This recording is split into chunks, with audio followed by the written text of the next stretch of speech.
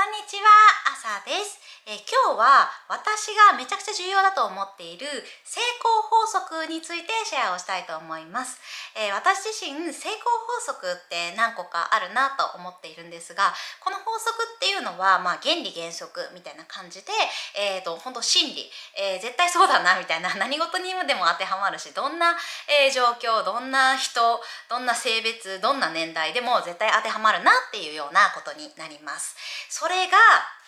成功したかったら人とは違うことをするっていうところです。えー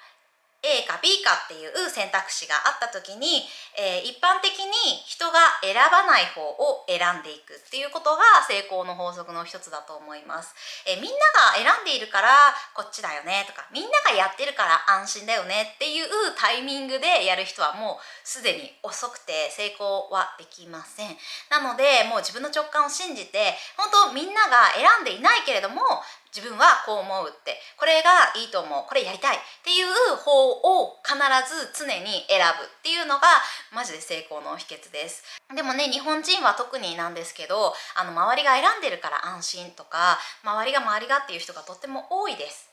まあそれはなんか戦後の自力地球のね入ってきた後の教育によってやっぱりこう右習えというか周りに合わせていこうっていうような、え教育がなされてきた結果だとも思うんですけれどもそのなんか成功貧乏マインドみたいな成功できないマインドっていうのは自分の世代で断ち切って本当にねもう引き継がれていってしまってるものだからそこは断ち切ってちゃんと成功マインドに切り替えて、えーもうあえて、えーみんながしないことを挑戦してみるっていうのを念頭に置いてみるとね本当にぐっと成功にね近づいていくと思います。まあね、えー最初は勇気がいることだとは思うんですけれどもそれをね乗り越えてきた人にしか本当の成功ってあのやってこないので、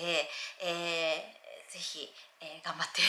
ぜひそこはねえいっと、えー乗り越えて、え人が選ばない方を選んでみるっていうのをやってみる、え挑戦してみる練習をしてみるっていうことをねしてみていただければ、え何かね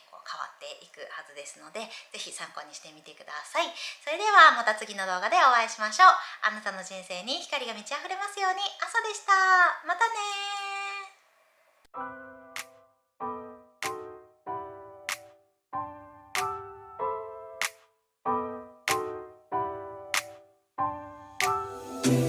I gotta tell you something I could do.